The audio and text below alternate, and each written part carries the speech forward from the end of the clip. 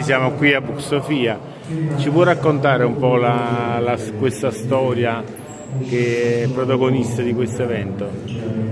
Sì, eh, noi siamo qui per testimoniare la vicenda che ha portato mio padre, prigioniero di guerra, nelle isole Orcadi, dove insieme ai suoi compagni di prigionia ha realizzato un segno di speranza, di pace, proprio nel momento più tragico della sua vita, dopo essere stato catturato in Libia circumnavigato l'Africa con eh, tutti i prigionieri italiani e portati lassù in un mondo completamente diverso da quello d'origine. Eppure lì hanno coltivato la speranza, il desiderio di, ritorno, il desiderio di pace e questo è stato possibile anche grazie all'interazione con eh, i comandanti del campo, con la popolazione locale, per cui ecco già un superamento delle fasi del conflitto all'insegna di una comune fratellanza che ha permesso appunto un grande sforzo collettivo dove mio padre ha avuto un po' il ruolo di ideatore ma insieme a tanta altra gente eh, questa piccola chiesetta che ancora oggi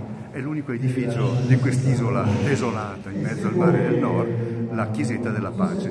Bellissimo, un bel messaggio che oggi quanto più che mai attuale. Davvero. Grazie per queste testimonianze, da Positano News, grazie. Prego. Andate qua,